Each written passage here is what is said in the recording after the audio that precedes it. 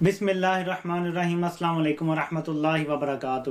ناظرین، جیسے میں نے وعدہ کیا تھا کہ حقیقت ٹی وی کے حوالے سے جو ان کا سٹینڈ ہے صدارتی نظام کے حوالے سے، مجھے اوور آل کوئی فرق نہیں پڑتا کہ وہ کیا بولتے ہیں، کیا کہتے ہیں۔ میں نے ذاتی طور پہ پہلے کبھی دیکھا نہیں تھا۔ صرف صدارتی نظام کے حوالے سے میں کچھ کمنٹس کرنا چاہتا ہوں اور بتانا چاہتا ہوں کہ ان کی اور میری سوچ میں ڈفرنس کہاں پہ آ رہا ہے۔ پاکستان کو قرآن و حدیث کی روشنی میں نظام کی اشد ضرورت ہے۔ میں ڈے ون سے اس کا حامی رہا ہوں۔ ایک ایک دینی گھرانے میں پیدا ہونے کی وجہ سے ہمیں بچپن سے یہی تھا، یہی بتایا جاتا تھا یار کہ اسلامی نظام ہونا چاہیے۔ جب تک پاکستان میں اسلامی سزائیں نہیں دی جائیں گی کرپشن نہیں ختم ہوگی، کبھی یہاں پہ امن نہیں آئے گا، یہ ساری باتیں ہم بچپن سے سنتے آئے ہیں۔ میری سوچ میں اور حقیقت والے بھائی صاحب کی سوچ میں فرق یہاں پہ آتا ہے۔ جب وہ کہتے ہیں کہ ادارے تیار بیٹھے ہیں، سپریم کورٹ تیار بیٹھی ہے، عمران خان بس پٹیشن لے کے جائیں تو بس نظام نہ آ جائے گا۔ اس سے زیادہ بچگانا بات کوئی ہو ہی نہیں سکتی اور اس پہ بلے بلے کرنے والوں کو بھی اپنی سوچ کی جان جانچ کرنی چاہیے۔ کسی بندے کی ایسی باتیں سننا جو آپ سننا چاہتے ہیں اور وہ کہہ رہا ہے اور آپ بلے بلے کر رہے ہیں، یہاں تک سمجھ آتا ہے۔ لیکن تھوڑا سا اپنا دماغ یعنی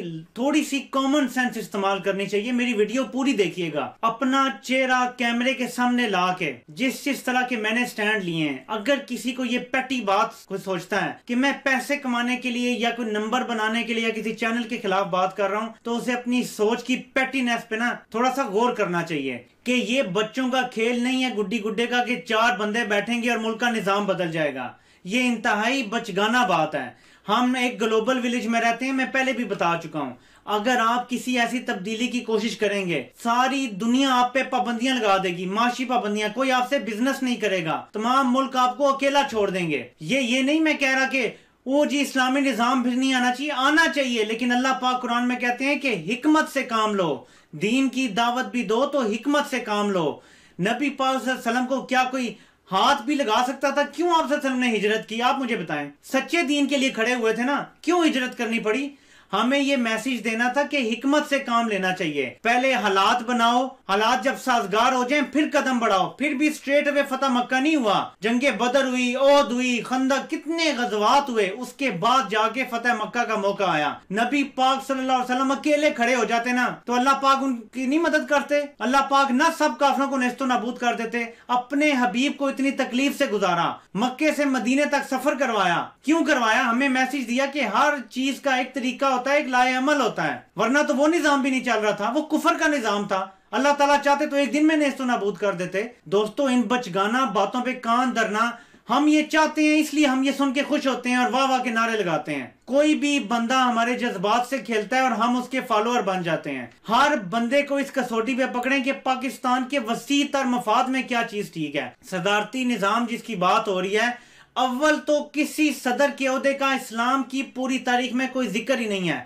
اسلام خلافت کو مانتا ہے، حاکم کو خلیفت المسلمین کہا جاتا ہے۔ تو اول تو یہ لفظ ہی غلط ہے جسے صدر کہا جاتا ہے یا صدارتی نظام۔ اسلام کے نظام میں خلافت ہے۔ تو اگر کوئی خلیفہ بنے گا تو اس نظام کی طرف بڑھنے کے لیے ہمیں پہلے اپنی اکانومی ٹھیک کرنی پڑے گی۔ ہمیں یہ جو تیل اور گیس کے ذخائر ہیں، انشاءاللہ یہ اللہ کی طرف سے غیبی مدد ہے۔ یاد رکھیں، نواز شریف جیسے چور چکے کی جب حکومت آئی تو ملک ڈوب رہا تھا۔ اللہ نے اس ملک کو بچانا تھا۔ تیل انٹرنیشنل منڈیوں میں آدھی سے بھی کم قیمت پہ آ گیا۔ جس کی وجہ سے پھر بھی اکانومی کا بہت برا حال وہ کر کے گیا ہے۔ لیکن ایک سیکنڈ کے لیے سوچیں اگر، جس طرح کے مہنگے بجلی کے منصوبے اس نے بنائے تھے اکانومی تباہ پر بات ہو جاتی تو اس ملک پہ اللہ کا خاص کرم ہے۔ بالآخر اس ملک نے اسلام کا جھنڈا اٹھانا ہے، لیکن اس کے لیے ہمیں حکمت سے چلنا ہے۔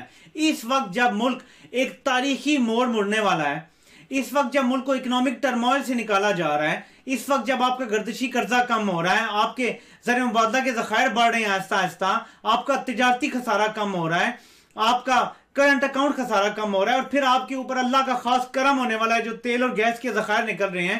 اس وقت فوراً یہ جلد بازی ڈال دینا کہ بس یہ نظام لپیٹ دو، یہ افراتفری نقصان پہنچائے گی۔